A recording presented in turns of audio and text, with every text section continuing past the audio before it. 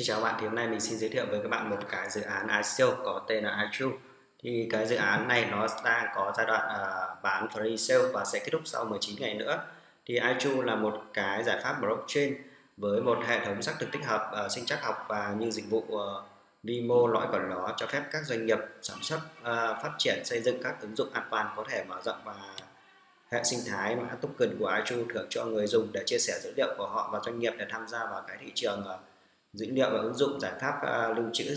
đã sáng tạo của chúng tôi đảm bảo cả tốc độ và dung lượng cao mà không phải hy sinh bảo mật và quyền riêng tư. Thì cái dự án này được uh, đánh giá khá là cao trên một số trang như Fanico là 7.2 này, ISO Max là 8.7, ISO Ben là 4.6 và check ISO là 5.0 thì uh, về cái ISO này đây là các ISO này. Về ISO là nó là một cái giải pháp sự kết hợp giữa công nghệ blockchain và cái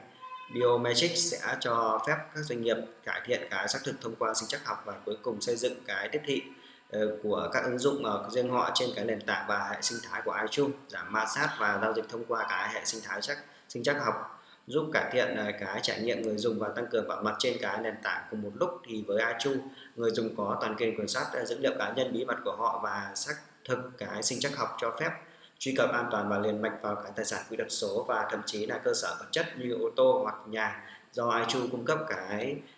token nơi thông báo lời dữ liệu của người dùng đang được sử dụng và các doanh nghiệp có thể tích hợp các điều khiển bảo mật vào cái ứng dụng của họ. Nhờ đó thì giúp doanh nghiệp tuân thủ các quy định của GDPR của châu Âu à, bằng cách thực hiện một à, phương pháp à, tiếp cận blockchain. Người dùng có doanh nghiệp được đảm bảo cơ sở hạ tầng mạnh mẽ và có khả năng mở rộng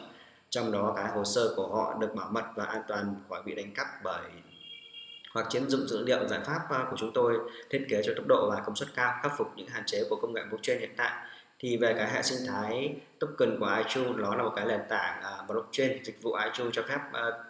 ứng dụng tích hợp xác thực độc lập với mật khẩu hiện tiện uh, X và thẻ nhựa. Tất cả đều thông qua cái microservice và như là cái khối xây dựng trong đó là một phần của iTrue thì cái token ITU có một tập hợp cá nhân người dùng doanh nghiệp và, và một cái hệ thống sinh thái đơn lẻ với cơ hội không giới hạn cho khả năng mở rộng dưới nền tảng phân cấp để nhận dạng dữ liệu và lưu trữ dữ liệu. Thì về bản thân cái nền tảng à, bán dữ liệu người dùng thay vào đó nó cho phép người dùng và khách hàng và nhà phát triển hưởng lợi từ việc chia sẻ giữ sử dụng dữ liệu trên nền tảng. Thì các nhà phát triển có thể xây dựng uh, các ứng dụng tận dụng lợi thế của các dịch vụ nhỏ chẳng hạn như xác minh danh tính và xác thực người dùng được thông báo về cái uh, từng yêu cầu về dữ liệu của họ và được thưởng khi họ tham gia vào các hoạt động chia sẻ dữ liệu thì dịch vụ chính của chúng tôi là xác thực với sinh chắc học có thể là cơ sở của các dự án uh, của các phát triển ở bên thứ ba và những người có thể tích hợp vào cái tính năng và giải pháp của riêng họ trên cái nền tảng của iTunes.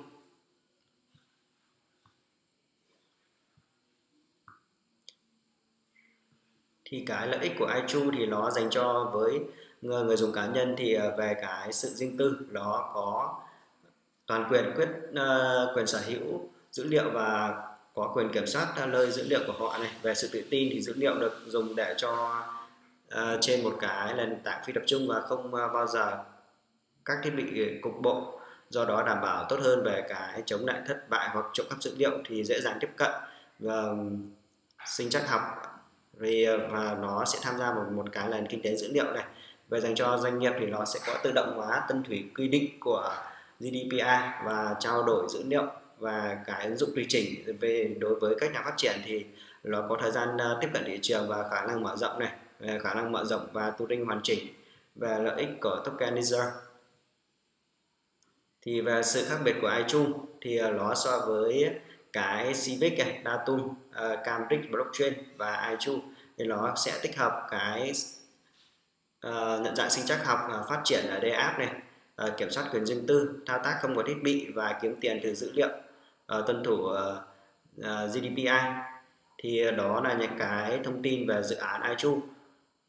thì các bạn có thể truy cập vào cái website ichu.io uh, để đăng ký mua cả ISO cũng như tìm hiểu thông tin về cái dự án này. Thì video của mình đến đây là kết thúc. Xin chào và hẹn gặp lại các bạn trong